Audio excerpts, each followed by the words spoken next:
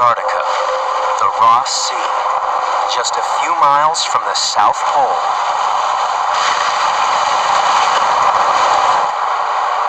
At the bottom of the world, summer only lasts six weeks. So fishing boat crews must work round before. All sorts of drama going on here. A colossal squid. The biggest squid on the planet. She's hanging on to the gaff there.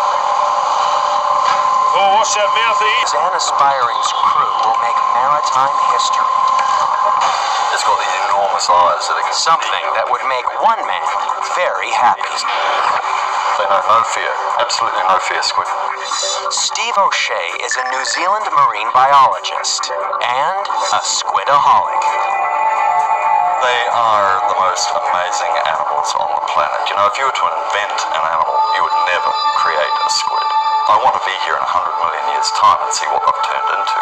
Steve's fascination with squid has driven him to spend over 20 years trying to understand the ocean's most elusive predator. Over the years, he's dissected more than 100 giant squids. The second biggest squid in the world. Is the colossal squid. that there are things in the depths that we don't understand that are fascinating and some of them are enormous. And one of those things is very, very large squids that live in the deep sea that we almost never get to encounter. I'm Dr. Kat Bolstad from Auckland University of Technology. I run the AUT Squid Lab. I'm here today in Wellington at Te Papa, which is New Zealand's national museum. Te Papa has got the only complete colossal squid specimen on display anywhere in the world as part of their Te nature exhibition.